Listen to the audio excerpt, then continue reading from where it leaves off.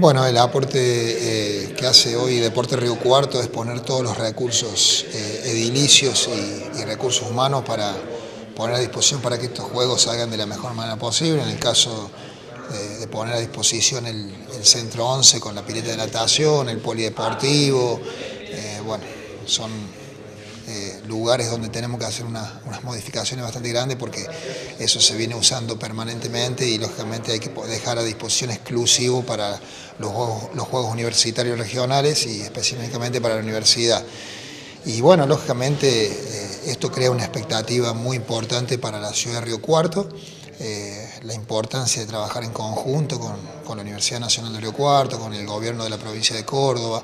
porque tenemos que poner todo a disposición y que esto salga de la mejor manera, eh, primero en beneficio de los juegos, en beneficio del deporte y segundo porque lógicamente tenemos que demostrar que Río Cuarto está capacitado para recibir a más de 1.500 deportistas eh, y, brindarle todo lo mejor para que, para que esto salga como, como corresponde.